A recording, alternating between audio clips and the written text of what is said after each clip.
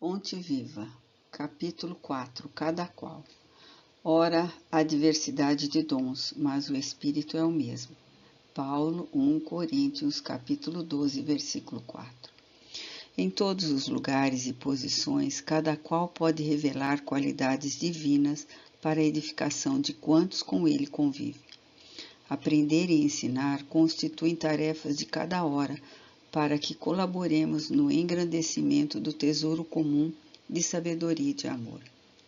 Quem administra mais frequentemente pode expressar a justiça e a magnanimidade. Quem obedece dispõe de recursos mais amplos para demonstrar o dever bem cumprido. O rico, mais que os outros, pode multiplicar o trabalho e dividir as bênçãos. O pobre, com mais largueza, pode amealhar a fortuna da esperança e da dignidade. O forte, mais facilmente, pode ser generoso a todo instante. O fraco, sem maiores embaraços, pode mostrar-se humilde em quaisquer ocasiões. O sábio, com dilatados cabedais, pode ajudar a todos, renovando o pensamento geral para o bem.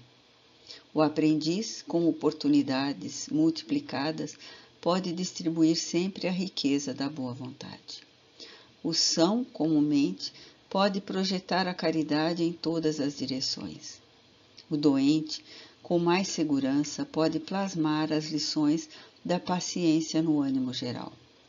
Os dons diferem, a inteligência se caracteriza por diversos graus, o merecimento apresenta valores múltiplos, a capacidade é fruto do esforço de cada um mas o Espírito Divino que sustenta as criaturas é substancialmente o mesmo.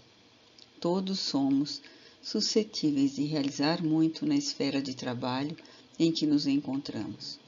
Repara a posição em que te situas e atende aos imperativos do infinito bem. Coloca a vontade divina acima de seus desejos e a vontade divina te aproveitará.